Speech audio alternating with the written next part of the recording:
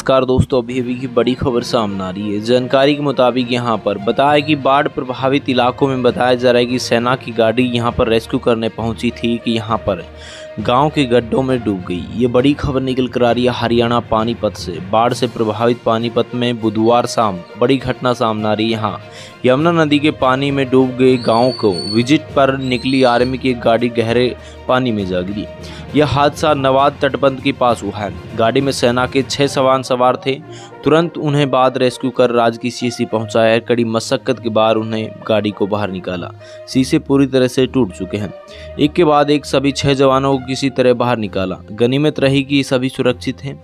इसके बाद जवानों को वहाँ से किसी दूसरी जगह पर लाया जाएगा जहाँ पर प्राथमिक उपचार दिया जा रहा है।